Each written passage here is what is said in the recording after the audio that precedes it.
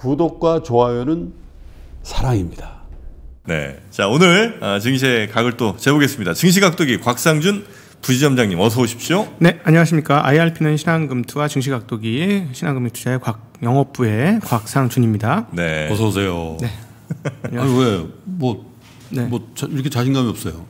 아, 뭐 자신감이 없진 않습니다. 네.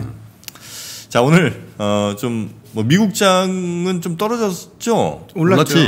올랐어요? 폭락한 이후 올랐죠. 아, 올랐어요? 네. 네. 아니 마포의 현실은 어떻게 된 거야? 미국 장 올랐는지 떨어진지도 아, 미, 모르고. 미 선물이 좀 떨어졌나? 네? 아니, 아니 뭐 그런 자세는 나쁘지 않아요. 뭐 시장의 흐름에 대해서 별로 신경 안 쓰는 거 네. 굉장히 좋습니다. 맞습니다. 아, 물론 이제 개별 기초 자산에 대해서는 깊이 신경을 쓰셔야 되죠.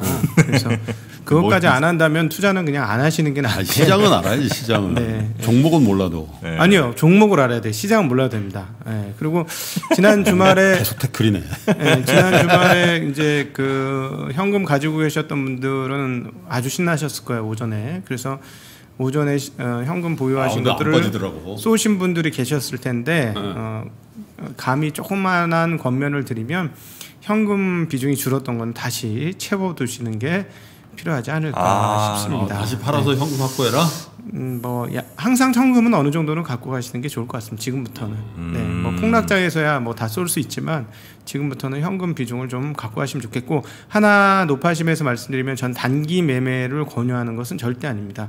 제대로 된 수익은 단기 매매에서 나오기는 어려워요. 절대 어렵고 네. 어, 사실은 계좌 자산 증식은 어, 히트 종목들, 홈런 치는 종목들이 나봐야 계좌 자산이 실제로 늘어납니다. 그런데 이런 크게 수익 내는 종목은 단기 트레이드로는 어, 절대 접근이 불가능해요. 상당 기간 보유를 할 수밖에 없습니다. 심지어는 뭐 몇 년 이상 같이 가는 그런 경우도 있거든요. 그래서 어, 사실 이런 그 큰 폭의 여기서 큰 폭이라는 건 몇 배 이상의 수익을 내는 종목이 없이는 자산이 빵빵빵 늘어나는 건좀 그렇죠. 어렵습니다. 따블 나는 종목 한두 번 나와야 돼. 그럼요. 네네. 그래서 그거는 단기 trading으로 안 되고 네네. 지금 제가 말씀드렸던 것은 지난 주말에 그 이번에도 어, 막 어떤 분위기냐면 폭락을 하면 신나게 돈이 들어와요. 기다렸다는 듯이. 예, 기다렸다는 듯이 돈이 지금 들어오고 있어서 어, 정말 되게 스마트하구나라는 생각이 드는데 어찌되었거나 현금 비중이 줄었던 것은 어, 현금을 어느 정도 채우는 그런 정도는 필요하시지 않을까 하는 아, 생각이 현백이 듭니다. 많대요. 현백. 네? 현백 몰라요? 현백이 그거는 뭐야? 또 아, 좀 아니죠. 100%? 지금은 어. 그거는 제 생각 은 그거는 좀 아닌 것 같아요. 네. 대신에 현금을 마- 현금을 좀 많이 갖고 가시는 분은 성향에 따라서 다르죠. 그 보수적인 성향인 분들은 현금이 더 많아도 상관없습니다. 음. 그렇게 해도 뭐 절대 문제가 되는 건 아니에요. 지금 우려의 목소리들이 나오는 건요. 우리 곽도기님이 좀 방송이 몇 번 나오셨나 봐요 최근에 맞습니까? 음. 아, 그 카페에서 카페에 올려기도 했는데 어 그거는 여기보다 더 덜 유명한 방송이에요. 아 그래요? 연합이 근데 그 내가 방송 봤는데 네. 왜 이렇게 안색이 안 좋아? 방송에 얼굴 까맣게 나오더라고. 연합 뭔가 인포맥스. 아, 뭔가 이 얼- 뭔가 이 표정도 불안하고 아 그날 무슨 일이 좀 있어서 그렇고요. 있었죠? 네 그리고 아, 피곤해서 그래요. 되게 피곤해서. 그래서 아, 부장님 뭔일 있나? 난 이제 그런 걸 보니까 뭐 맞추고 안 맞고를 보는 게 아니라 우리 게스트들의 건강이나 이런 걸 보니까 하여튼 그, 그 방송 나오면 조심해야 된다 이런 얘기를 이제 하셨어 갖고 그 공중파. 이건 지금 아직은 그때는 아니라는 그 거죠. 공중 여기보다 더 안 유명하다니까요. 더 구석탱이에 있는 거라니까요. 네, 공중파는 우리보다 유명하다는 고정관념을 버리세요. 죄송합니다. 그러네요. 네. 네, 어. 어쨌든 공중파. 이건 무슨 말이냐면 민간인데 거기는 더 여기보다 더 업자 방송이에요. 네. 더 도매 방송이에요. 아, 옛날에는 진짜 업자들만 듣던 방송이거든요. 아, 그래서 옛날에 자주 나가던 방송인데 아, 거의 뭐 신경 쓸거 오랜만에 없고. 나간 거라서 거긴 그러니까. 더 업자 방송이니 그 여기보다 소매가 아니고 더 도매니 아, 그, 너무 저, 걱정하지 마시라고. 본론으로 갑시다. 네, 그 미국 시장 반등 을 했습니다. 워낙 많이 빠졌기 때문에 반등이고요. 근데 반등의 폭 아침 시초가보다 약간 밀리면서 물론 왔다 갔다 하긴 했지만 좀 마감이 되어서 이 반 그냥 just 반등 정도로 생각하시면 좋겠고 어, 여전히 가격 부담에 노출되어 있는 것이 미국 시장이다라는 거죠. 이 정도 빠져 빠졌다고 미국 시장이 저렴하냐? 그건 아니라는 거예요. 앞으로도 미국 증시는 계속 이 상태에 놓여 있을 수밖에 없다는 점은 감안을 하셔야 될 것 같고요. 어, 지수 한번 살펴보시면 지수들 1%대 상승으로 마감을 했습니다. 다우는 1.9% 상승을 했고요. 어, S&P는 1.3%, 그다음 나스닥은 1.01%, 러셀은 1.68% 상승하면서 장을 마감했습니다. 주간 단위로 따져보면 다우는 5.5%나 내렸고요. S&P는 4.78%, 나스닥은 2.3% 내렸습니다.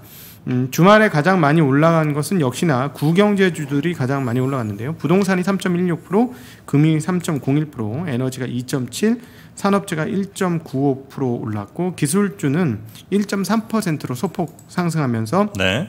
마감이 되었습니다. 어, 유럽 시장은 조금 엇갈렸는데요. 독일은 0.18% 떨어졌고 영국은 0.47 상승, 프랑스는 0.49%, 유로스타 50은 0.29% 상승을 했습니다.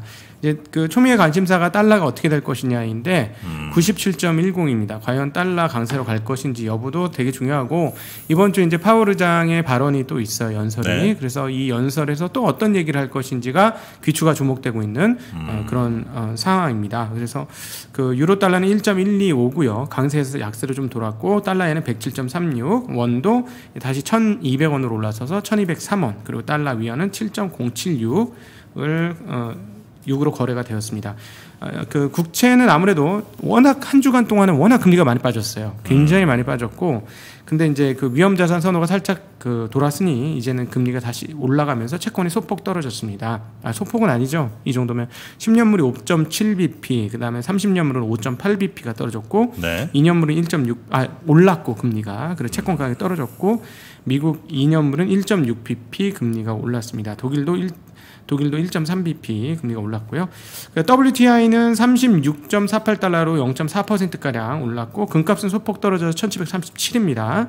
어, 구리 가격도 0.4% 올라서 5775 그리고 상하이와 브라, 어, 홍콩, 브라질은 모두 주가 빠진 흐름 보여줬고 기술주들 강세를 보여줬는데 역시 기술주들보다 가장 눈에 띄는 것들은 국영제주들이 많이 올랐습니다. 시티그룹이 7.8% 올랐고요. 어, 그 다음에 쉐브론은 3.3, 보잉은 11.48%나 올랐습니다. 반면에 이제 애플은 0.8% 올랐고 아마존은 오히려 0.5 떨어졌고요. 마이크로소프트는 0.79 상승, 구글도 마찬가지 0.79 상승, 페이스북 1.8 상승, 인텔은 0.6% 하락, 퀄컴은 1.4% 상승 등등의 기술적 흐름들을 보여줬고 그동안 고공행진했던 테슬라에 대해서는 투자 의견이 하향되면서 주가가 음. 좀 3.8%로 상대적으로 조금 큰 폭의 네. 하락을 기록을 했습니다. 네. 네. 어, 이번 주 들어와서 어, 이제 기술주들을 이제 다시 체크를 해야 될 때가 됐어요. 음. 그 동안에는 이제 음, 뭐랄까 코로나 열 어, 폭풍으로 인해서 기업의 fundamental 등등에 대해서 신경 쓸 겨를이 없었거든요. 근데 이제 뉴스가 나오기 시작합니다. 네. 첫 번째 뉴스는 애플이 애플 12의 부품 뭐지? 저기 구매를 20% 정도 늘렸다. 늘려요? 네. 20% 정도 늘렸다. 이거는 양날의 칼입니다. 한국 입장에서는 어... value 아 저기 애플의 value chain 즉 애플의 부품을 공급하는 애들한테는 엄청 호재죠. 네, 네. 한국에 많죠. 이미 네. 주가는 고공행진 뭐 음. 뻔한 사실이고요. 고공행진을 했고 반면에 그럼 어떻게 경쟁사들은 어떻게 될까요? 경쟁사에게는 상당히 나쁜 뉴스입니다. 네. 상당히 삼성? 나쁜 그렇죠. 삼성에게는 나쁜 뉴스죠. 음. 삼성의 주가가 왜 못 가냐? 뭐 이런저런 얘기가 있는데 지금 반도체 쪽 돌아가는 거 봐서는 왜 안 올라가는지라고 생각이 들 정도예요. 결국은 삼성의 또 다른 주포죠. 그러니까 뭐 삼성이 한 네 개 정도의 사업부를 가지고 있어요. 어, 가전, 그다음 반도체, 어, 핸드폰, 디스플레이 이렇게 하는데 어, 최근에 와서는 정말 양대 축이라고 얘기할 수 있는 거는 역시나 반도체하고 휴대폰입니다. 네. 지금 마치 one top처럼 보이기는 하는데요. 어, one top 아니죠. 이 휴대폰 사업이 제대로 안 돌아가서는 삼성전자가 온전한 실적 내기가 만만치는 않습니다. 그래서 이 부분들이 제 가장 걱정인데 여기에 따라서 굉장히 발빠르게 움직이기 시작하면서 어, 주류 그 뭐지 전략폰에 대한 뭐지 발표를 오늘 몇 번 발표를 앞당기고 있습니다. 앞당기고 아, 있어요. 전략폰이라고 하면 foldable? 뭐 네, 그거를 네. 아마 9월 달 전후로 출시하게 될 것 같습니다. 예, 급한 상황인 것 같고요. 반면에 음, 주말에 나온 뉴스 중에 가장 눈에 띄는 뉴스는 중국발 뉴스인데요. 아시죠? 글로벌 타임스. 예, 글로벌 타임스에서 나온 뉴스입니다. 어, 화웨이한테 삼성이 5G 칩을 공급해주고 그러면 화웨이가 휴대폰을 좀 양보하겠다. 음? 라는 설이 있어요. 아, 설.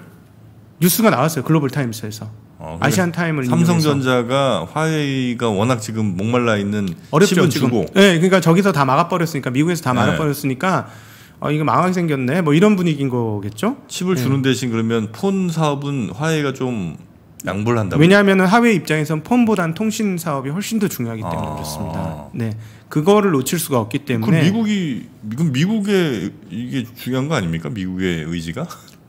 아, 미국의 기술이 안 쓰여지면 쓸 수 있잖아요.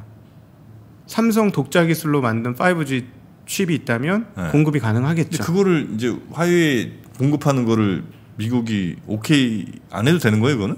미국 기술이 없다면 상관은 허락을 득할 필요는 없죠. 어, 그렇습니까? 네, 미국 기술이 없다면 그 지금 그 하웨이에 대한 제재가 9월까지 유예된 거예요 현재. 아, 말로만 제재.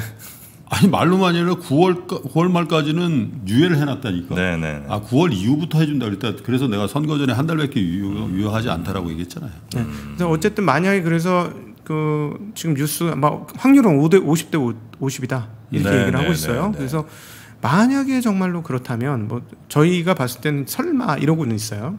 음. 이게 말이 돼? 설마 이러고는 있는데 만약에 그렇다면은 삼성 입장에서는 휴대폰 사업이 궁지에 몰려 있기 때문에 아 죄송합니다 궁지까지는 아니고 어쨌든 조금 전년 대비 안 좋기 때문에 네. 어, 상당히 큰 호재거리의 뉴스라고 볼 수가 있죠. 음. 그렇다면 삼성전자 휴대폰 사업의 value chain이 그동안의 부진을 떨치고 일어날 가능성도 있다라고 네. 보면 되겠습니다. 왜 계속 말씀드리냐면 왜 애플의 저런 행보가 어, 사- 다른 회사들을 굉장히 어렵게 만드는 거냐면 음. 가격을 낮추고 내려오고 있어요. 음. 지난번에 말씀드렸잖아요. 그동안 가장 비싼 폰 11에서는 11 프로 맥스 같은 경우는 굉장히 비싼 폰이었습니다. 가장 비싼 200만 원 넘었잖아요. 예, 가장 비싼 폰이었는데 네. 어 그래서 마치 이제 브랜드를 만드는 거죠. 비싼 브랜드로 만들어 놨는데 그게 가격을 낮추고 내려오는 거예요. 그럼 밑에 segment들을 잘 잡, 잡아 먹잖아요. 그 전략 중에 상반기 가장 큰 전략이 special edition을 출시한 겁니다. 399달러로 시작하는. 그러면서 사실은 그 공간이 가장 큰 대수로 따지면 휴대폰 대수로 따지면 가장 큰 공- 공간에 들어온 거예요. 예, 아주 전략폰이에요. 그 내용들을 샅샅이 뒤져보면은 배터리 수명이 짧다는 거, 아, 아, 배터리가 한 1,800mAh 정도 됩니다. 그거 빼고는 다른 성능이 엄청나게 빠지냐 그게 아니에요. 왜냐하면 가장 좋은 AP라고 여겨졌던 A13 칩을 그냥 쓰고 있어요. 네. 그래서 그게 무서운 전략이었던 거예요. 저희가 봤을 때는. 그래서 밑에 있는 세그먼트 시장을 애플이 침범하고 들어온 거라서 사실 다른 업체들이 굉장히 만만치 않은 상황인데 거기에서 high 그 소위 말하는 고급 레벨의 가격을 떨어뜨리면서 내려온다면 고급 레벨에서 가장 특화된 안드로포인 안드로 안드로이드 진영의 가장 고급 폰을 잘 만드는 회사 입장에서는 만만치 않다는 거죠. 그래서 그게 과연 어떻게 될 것인지였는데 하여튼 뭐 오늘 어, 그, 그런 뉴스가 있습니다. 그러니까 오늘은 휴대폰에 대해서 말씀드렸는데 애플의 휴대폰 생태계는 지금 상당히 활발해지고 있다. 어, 반면에 안드로이드 진영이 어떻게 치고 나올 것이냐인데 오늘 글로벌 타임스의 뉴스는 조금 희한한 뉴스가 접해졌다. 뭐 이런 정도 정리해 볼 수 있겠습니다. 네. 자, 오늘 월요일 예. 네, 새롭게 시작한 월요일 아침에 또 증시 각을 재주신 증시 각도기 우리 신한금융투자의 곽상준 부지점장님 대단히 고맙습니다. 네, 감사합니다. 네.